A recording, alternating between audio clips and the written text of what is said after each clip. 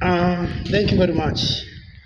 In basing my topic, in looking at my topic on the challenges of women ordination, with partic- particular reference to the Anglican Church, allow me to use to, uh, Kirinyaga Anglican Diocese to sample uh, this uh, topic. Now, let me say that as early as 1980, the House of Bishops in Kenya, the entire Anglican Church of Kenya, they had begun to discuss the ordination of women. And this was a follow up to the recommendation of the Lambeth Conference of 1978 that the member of that the member churches uh, were allowed to consider ordaining women. So the Lambeth Conference of the highest Anglican uh, body, that is the Lambeth Conference of 1978, 78, allowed members to consider ordaining women. Before 1978, no Anglican, no member of the Anglican Communion was ordaining women to priests. So although in 1980, the Kenyan Anglican province agreed in principle that women could be ordained, each diocese was to be autonomous in taking up the issue. Now, coming now to Kirinyaga, Kirinyaga Anglican Diocese, the, uh, the then Bishop David Gitari raised the issue of women ordination in four consecutive diocesan synods or the big bodies. That is 1979, 1981, 1983, and 1986.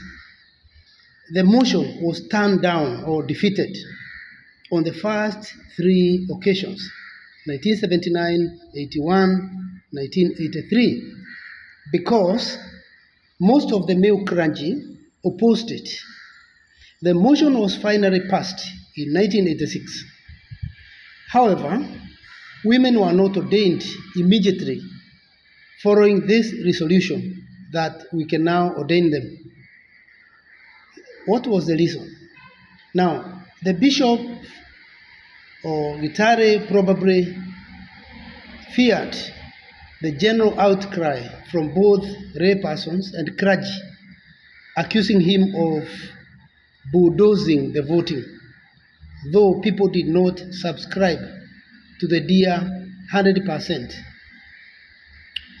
This is reminiscent of a case in Mombasa Diocese, where in discussing the need to ordain women in 1989, a bitter exchange ensued, during which one man, Mr. Mr. Nelson uh, Zero of Gende Parish, uh, said that the church should not accept women as priests because the Bible was against it.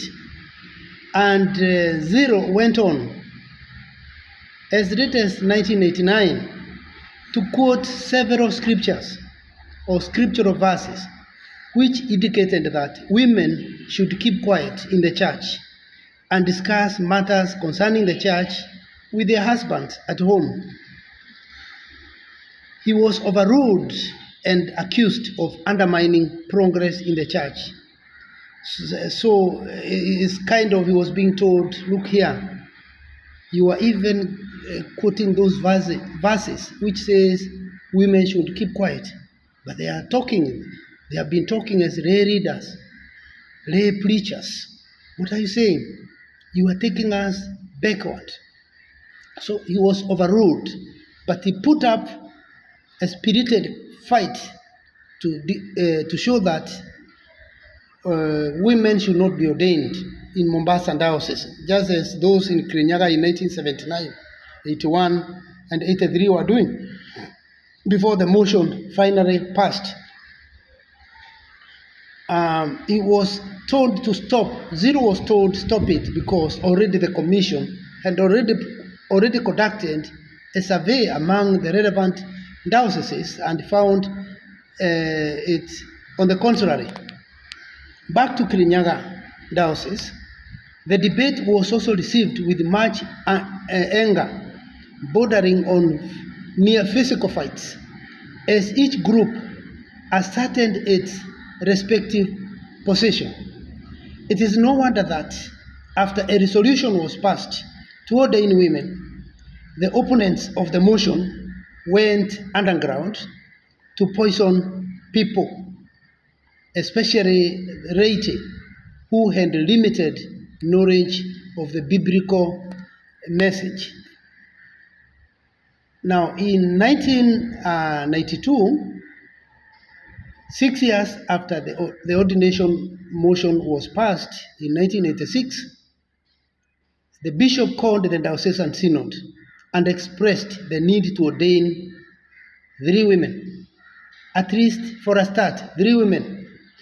To his surprise, some members reacted as if they had not participated in the previous synod that had endorsed the ordination six years ago. Some argued for the postponement of the ordination. Others vowed that it would only happen over their dead bodies. In other words, or in short, there were mixed reactions. But the bishop, who refused to be influenced by patriarchal anthropology, stood his ground and acted as if he was only informing them of the date of ordination and he was not seeking their views as this was a decided case much earlier in 1986. To the utter surprise of everyone, two of the senior clergymen who were actually archdeacon vowed never to allow it to happen. And they called, they called what uh, was referred to as an illegal assembly of clergy, which was attended by a good number of them. At this meeting, the two senior clergymen who opposed women ordination reportedly explained the problem and the danger that the bishop was taking or leading the church into, and dismissed the characters that were going to be ordained as unworthy to be invited, invited to the sacred ministry. They vowed to get a court injunction, but before doing so, they called a press conference and externalized the bishop for his high headedness, according to uh, the vocabulary they used. They accused him of dictatorship and for pushing the issue of women ordination down the throats of the people or the Christians in general. They accused the bishop of reducing the delegates of the synod to mere rubber stamps that only endorsed what he had already decided. This was given a wide coverage by the Kenyan daily press. However, three women were ordained before the opposers or the opponents were able to file a court injunction. In addition, Bishop Gitari demoted the dissenting clergy, uh, clergymen immediately so as to stop them from growing influence. One wonders why the very people who had accused the bishop of dictatorship and lumber stamping were so strong in favor, stronger in favor of everything else apart from this matter of women. It may show how divisive the matter is and uh, how we take long to change. You still ask, why was it women ordination such a thorny issue? Even Roman Catholics today in 2023, they don't ordain. Why is it a thorny issue among churches? Now, even more surprising was that some senior female lay women were also opposed to women ordination. Look at it, where women now became their fellow oppressors, where negative interiorization uh, inculcated in women has made them uh, think women couldn't do well, their fellow women couldn't do well. So they argued that it is against the natural law and harmony in society to elevate women to positions of power and influence, especially to the holy ministry of the church. They arranged that it is against the Bible and culture. And this now raises the following question What is the difference between an, Angli- an Anglican woman, lay reader, who robs like clergy, and an Anglican ordained clergy woman? That's a question. Anglican women lay readers had been serving in the church for years and years. So you may ask, why was women ordination such a big issue? Okay, yet an Anglican woman or man lay reader serves the church like a priest in the absence of the priest. The only difference is an Anglican church lay reader cannot baptize or administer the Holy Eucharist. That's the only difference. The rest is the same. Another lesson learned from women, women opposing the ordination of their fellow women is that the society is in dire need of depatriarchalization. Yes, the society needs deconstruction in order to be reconstructed. Otherwise, depatri- depatriarchalization without deconstruction is not enough. Therefore, it will require deep and intensive cleansing to rid itself of this monster, since it is so ingrained in us from childhood. The way we are socialized about women and men informs how we behave in religious circles, political circles, social circles. Sociologically, we behave according to what has been internalized in us. We also need to appreciate that as a result of the, this social conditioning, some women have developed low self esteem.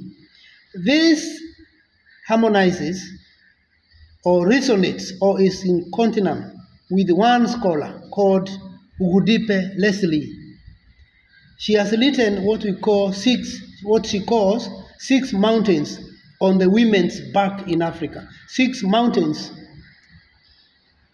on the women's back in Africa, where she identifies the fifth mountain as the woman herself. It's a mountain, a big mountain to a woman. A woman has uh, one major mountain, one major impediment to her own progress and development, herself, herself. Uh, Risri um, rightly argues that women are shackled by their own negative self image, by centuries of the interiorization of the ideologies of patriarchy and gender hierarchy. And she goes on to say that their own reactions to objective problems, therefore, are often self defeating and self crippling.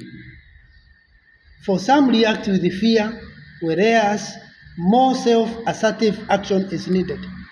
So the society is also to blame when we see women opposing one of their own uh, from raising to ec- the echelons of society.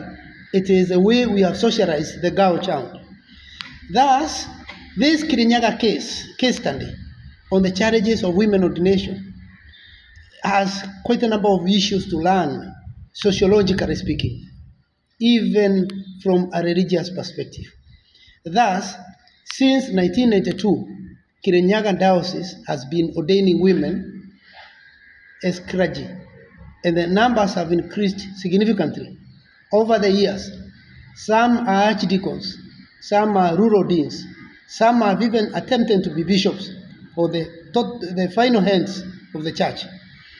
Something else we can say very quickly is all about the training of women uh, in the ordained ministry, particularly with reference to Kirinyaga. Since 1979, on the initiative of the then Bishop David Gitari, women have been trained in theological colleges alongside men and have been performing very well. After three years of uh, theological training, at certificate level at the local college, St. Andrew, Andrew's College of Theology and Development, Kabare, women were licensed as lay readers and not as clergy, while their male counterparts were straight away promoted to clergy. Women would be would, ju- would just get a license to practice as lay reader, L, not L, lay reader. And since there was no female ordination, or their male colleagues entered the holy order by being made Anglican deacons first, and then full priest. First is the stage of Anglican deacon. The next stage is full priest. Women would remain the same level as men or their male counter, counterparts move to the higher levels of the ecclesiastical randa. After one year of probation, women were commissioned as deaconesses. Deaconesses is still a laity, a lay person, but that would create an impression they have also moved around that which was mere smoke screen because they are just laity. There are many things they cannot do in the church. They are still bound by the laws of the church. After one year of probation, therefore, I've said women were commissioned as deaconesses, while men were ordained to priesthood. This meant that women remained lay people, not because of undertraining, but because they were female. They were thus posted in parishes to serve under their male colleagues as pastoral assistants. Sometimes they even had to serve under their male juniors, which caused a great deal of discontent. Some were well trained, or some well trained women were posted at the diocesan bookshop, where they would be given the task of selling books after getting their diplomas in three years diploma in theology or even degrees. They would be there selling books and stationery, just like any person who had never received any theological training. One wonders why train all that and you don't assign people to do the duties that appertains to that kind of uh, certificate they had gone to study for. But after 1982, women, women were now able to respond to the Great Commission and the Great Commandment of love, just like their male counterparts. Now, despite the clergymen and deaconesses having received equal training, some clergymen did not treat the, the deaconesses as colleagues and co-workers, but they saw them as subordinates. It was not unusual, for instance, for a deaconess to be asked by the male clergy to prepare tea or lunch during church council meetings, just like any other worker in the parish. This was blatant exploitation, denying women their right to participate in the meetings, in the church parish council meetings, and re- relegating, relegating them to the domestic domain. In other words, they were being reminded by their male counterparts, some of whom they beat in class, that remember you are just a woman. Yours is always the kitchen. So you go prepare tea for us. I better be left with laymen who are not trained in, uh, in theology in my parish council. Those are some of things that were there. Now let's consider points or arguments that were used against women ordination. Now, these arguments, as I got them from the synod books that are there at St. Andrew's College, where they are stored very well in the archives, the, uh, were characterized. I would say that these arguments, which I got from synod books, were characteristically heated debates as observed earlier. They were based on historical, biblical, cultural, and generic factors, and they were raised by both men and women. They were all using very tough argument to say, women, you are just women. Yeah, nobody doubts that, but uh, the argumentation in general, as we shall see, was uh, missing somewhere. Now, some people contended that since the trend among missionaries, specifically the Church Missionary Society, was to train and ordain only men, not women, why should we now ordain women? Are we better than the missionaries? And are we preaching a different Christianity from the one preached by the European missionaries of the 19th century and 20th, 20th centuries who did not ordain women? Why change of direction? Such patriarchal arguments were based on ignorance of the fact that the church in Africa inherited an, an already gender biased tradition. Rather than deconstructing it, they wanted to sustain the status quo, which was a mistake. The argument fails to recognize that two wrongs do not make a right. Now, theological and biblical arguments were also used. And they were held, they were propounded that they were propounded that women were not part of the Levitical priesthood in the Old Testament. Further, in the New Testament, Jesus only chose male disciples, and that Pauline theology does not allow women to speak in the church. Such arguments failed to recognize that the Bible should always be interpreted in terms of socio-cultural hermeneutics. Now, cultural arguments also played in. Another thing, cultural arguments that were advanced, the cultural arguments held that women were never leaders. They were never leaders in the traditional societies. And even those who are involved in the religious affairs were always beyond menopause, the age of 45. It is for that reason that some members of the synod held that deaconesses should, should be ordained to diaconate 10 years after completing their ordination or their training at St. Andrew's uh, College, Kabare, or wherever. Others recommended that only married women be ordained. Still, others held that ordained women should remain single, like the Roman Catholic nuns. In a later synod, some members openly admitted their fear that ordaining women would empower them to lead even men, which is against the Roko Kikuyu traditional culture or the Roko Kirinyaga traditional cultures. Now, this fear of women ruling men was reinforced by the story of uh, the legendary, the, legendary uh, chief Wangu Makeri, the pioneer woman chief within central Kenya, who is reportedly, reportedly said to have ruled with a lot of brutality, especially towards men.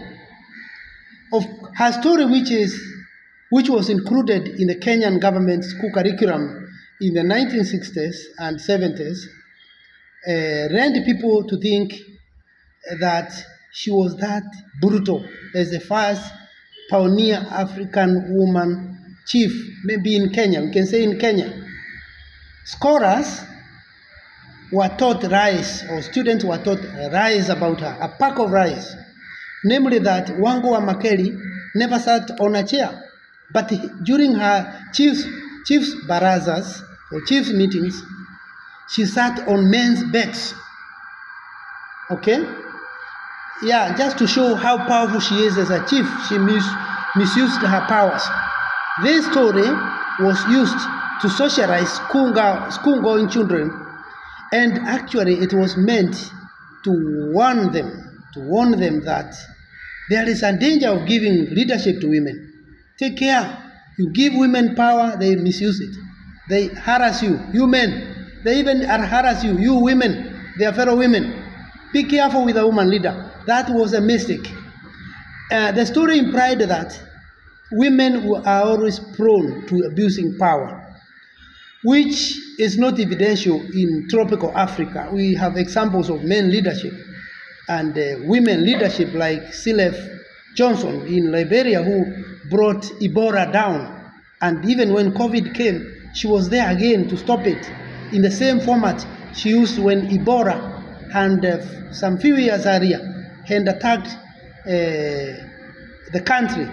And as the president, Sirleaf Johnson stopped it using the same communal or community-based approach to fighting uh, the, the, the pandemics in the so-called community health workers, use of community health workers. Everybody becomes a health worker or quite a number of local people uh, will be policing the society through medical uh, provisions because they are trained how to fight uh, such pandemics. So when COVID came, straight after Sirleaf Johnson and left as the president of Liberia in 2020, when it came in March uh, 2020, there were already people who were prepared to fight uh, the pandemic as, as they had fought another pandemic like Ebola disease that had hit.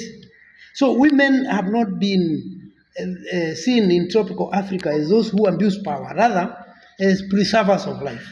And even in Ngugi wa book, the main character is Nyawira, who is leading to preserve life. And uh, that itself is symbolic speaking for the tropical Africa. The uh, Wizard of the Crow is, is really showing the reality. Novels are good in showing and mocking the society and helping us understand the society we are in. We see it as women who are doing great efforts, effort to save society. Now, this story was used to socialize school-going children and therefore warn us. In any case, the prehistoric Kikuyu have, have a story that Kikuyu were at, were at one stage matriarchal, but shifted to patriarchal. After women turned ruthless in their leadership prowess, according to Jomo Kenyatta's Facing Mount Kenya. Uh, so all those could be used to show when women were ruling, when we, the community in central Kenya had a matriarchal as was matriarchal.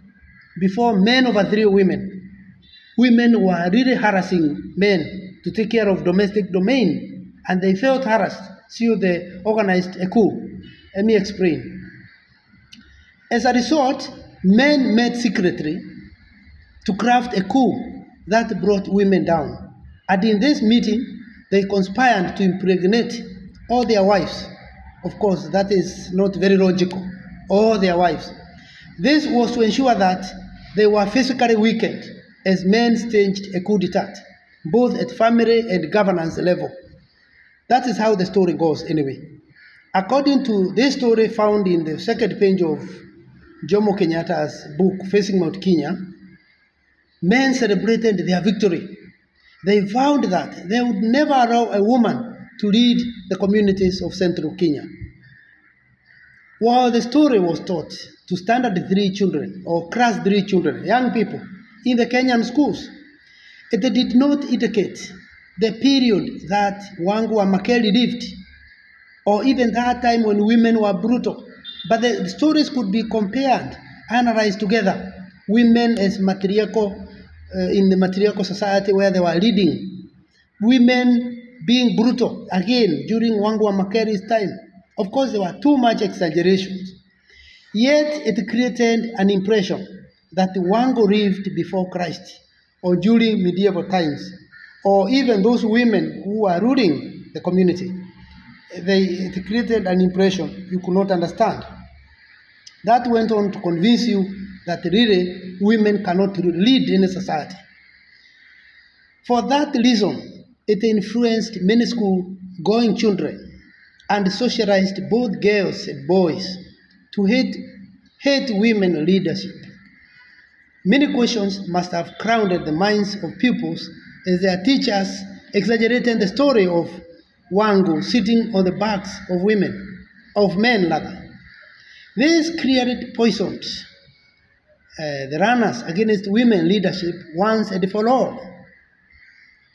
What's more, if this story were combined with the story of the fall of man, the fall of humanity, recorded in, in the biblical book Genesis 3, where another woman, Eve, allegedly played a big role in bringing Adam down by easily getting tempted by the serpent, the serpent to eat the forbidden fruit, a school-going child would obviously come to the conclusion that women leadership was the worst thing to ever contemplate. Researchers in more recent times have been surprised to discover that Wangu wa Makeri was just a colonial assistant chief who served under a man, Chief Karori Wagakure of the present day Weithaga location. Of course, it has been subdivided to many locations. That is neighboring Muranga County, which neighbors Kirinyaga County. In fact, the, uh, Wangu wa Makeri is reputed to be the first woman chief in Kenya. She made history, taking such a position at that time, uh, around 19, 1900, when she was born, 1861. And uh, taking that position, mantle, to pioneer women leadership during the colonial Kenya was in itself a sign of being assertive and convicted and bold and strong leadership. People were fearing leadership, including men, but Wangu wa Makeri was in a position to take it. That should have been praised rather than used as a way of uh, uh, demeaning women. It should have been used like the way we use the story of Deborah in the Bible, how she helped people to escape. Should have been used like great stories of Ruth, or stories of Mary Magdalene, stories of Salome Semedi. Should be used like great stories of Mary, the mother of Jesus, and other great women in, in the Bible. But in this case, these kind of socializations, those days when they were opposing women ordination, uh, were used in a very negative sense. And the whole generation was really misread. Now, the reality is, Wangu wa Makeri sat on evildoers in the society by administering justice to everyone on behalf of the appointing authority, that is the colonial government. She was not favoring men nor women. If you come to Wangu wa Makeri, the chief, telling uh, uh, the chief, I slapped my wife two times, how she, you, you'll be allowed to explain it and she will listen to you. But the punishments she would give you, you never try to beat your wife again. Those days, men were beating women the way they want, like children. Even children would not be beaten when they grow up. But a woman was beaten till she died. You'd find an elderly woman crying because she was beaten by the husband. And that was seen to be cultural. And Wangu was fighting such cultures that are inimical to the dignity of a woman. In any case, it has been established that she lived between 1865 and 1936. She died the other day. Chief Wangu wa Makeri should have been upheld as a fine example to support women ordination, not suppress it, because she demonstrated that women are not as weak as they are typically portrayed. It appears that she was a very, very, very successful judge, not going to law school, but she was a great judge in listening. A listening judge is a good judge. She was also good in giving the punishment you deserve. And she would tell her guard, the, those who guarding the chief, askaris, to take care to ensure the person does the punishment. Punishment, even if you are given a whole a whole five acres to cultivate as a punishment, it would be fair for what you have done. So she would settle domestic violence like a judge. As we see even men battering becoming the vogue in central Kenya, one wonders could the return of Wangu wa Makeri as a judge help central Kenya where men are being battered these days by women?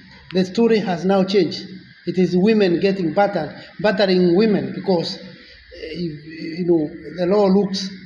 It is like if when a man is battered by a woman, a man will not report, but when to the police or the uh, uh, take the case to the court. But if a woman batters her husband, the husband will keep quiet to avoid shame or being mocked or laughed at. Why are you beaten, beaten by a woman? So that forces men to be silent. And you see, if Wangu wa Makeri were there, she would punish those women who were battling, even pouring hot water on their drunkard husbands, their irresponsible husband, find irresponsible wives who beat them up when they are drunk, particularly when they are drunk. Or some weak men who are hungry. Why they are hungry and weak is neither here nor there. Wangu wa Makeri would be a good judge. Even in the 21st century Kenya, even today, 2023, we need Wangu wa Makeri today more than yesterday. It is therefore unfortunate that the controversy over women ordination in Kirinyaga, Kirinyaga Anglican Diocese, was wrongly informed by the story of Wangu wa Makeri, which was twisted to look different. Another argument that was used against women ordination in Kirinyaga Diocese is that women would cease to be traditional wives and mothers, which to some was against the law of nature. Yeah, it looks appealing because really, if you're a man, you need to be a man. If you're a woman, you need to be a woman. I'd be happy for it. But then, saying that ordaining women would stop